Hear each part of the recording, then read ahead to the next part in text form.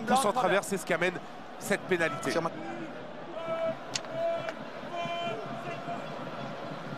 Le lancer, capté par euh, Julien Bardi, à fond de touche. C'est un mort jaune Urban qui a les mains sur le ballon. Ballon arraché, récupéré par le Stade français avec ce raffut de Parissé qui a trébuché sans mettre le pied en touche. Dupuis, passe acrobatique jusqu'à son demi d'ouverture. Il y a du champ, peut-être même un surnom en bout de ligne avec Vaïssa qui, qui, est bien pris par Rougerie qui l'a fait trébucher sans le tenir. Stanley, ceinture le Fidji, avantage encore pour le stade français. Avantage Camara, Camara avec euh, on essaye de jouer debout. Slimani, Vandermeer, gros tampon de Fritschli, mais Monsieur l'arbitre revient à l'avantage qu'il avait signalé. Oui, pour une euh, photo sol de Julien Bardi qui vient se coucher contre, euh, sur Vaïséa qui est déjà au sol. Ça part en sous-7. Ah, première chacaillerie du match. Une finale électrique.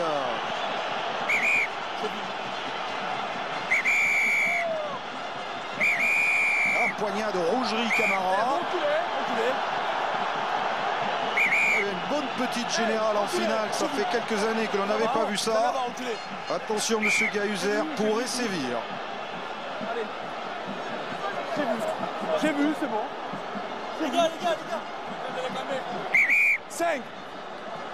Alors, il appelle au rapport le numéro 5 du Stade français, Alexandre Flancard, son juge de touche. Il y a une charge 7 jaune, il faut que je contrôle la vidéo. Ouais, c'est ça.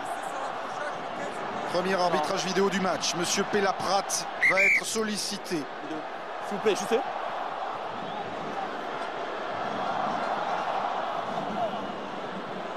Romain, tu peux venir, hein Venir.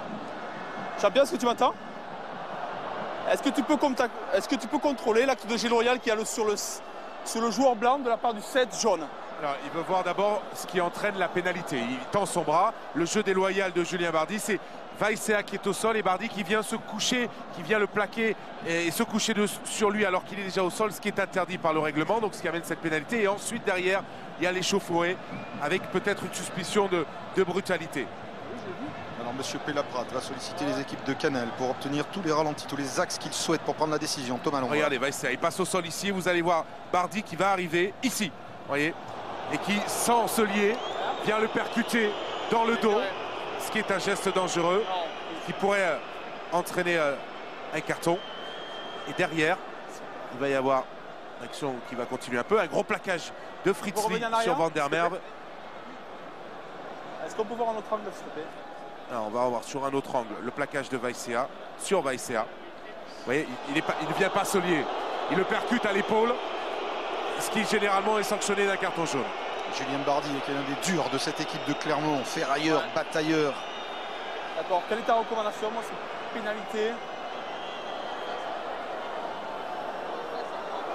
Pour l'instant, on a entendu les arbitres parler de pénalité.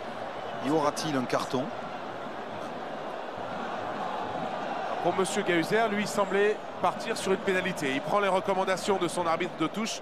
Visiblement, n'est pas forcément du même avis. Tu veux dire l'endroit de la faute, s'il te plaît, aussi après Regardez une nouvelle fois l'image alors qu'on voit la suite de l'action, le gros plaquage de lit sur Van der Merwe.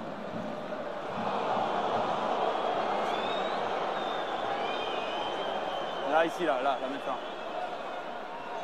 Ah, ok, j'ai pris la décision. Alors, décision du, Pour moi, j'ai pris ma décision. Pour moi, c'est un pénalité plus carton jaune contre le 7 jaune. Est-ce que tu es d'accord?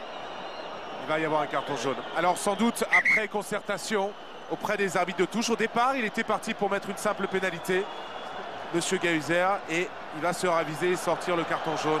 C'est le charge à l'épaule, voler sur le joueur. Ah, mais je prends je comme ça. C'est un carton jaune pour vous, merci.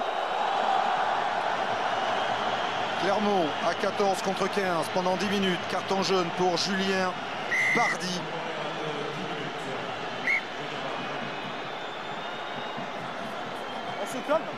Qui traîne une réputation de joueur dur dans le championnat. Les arbitres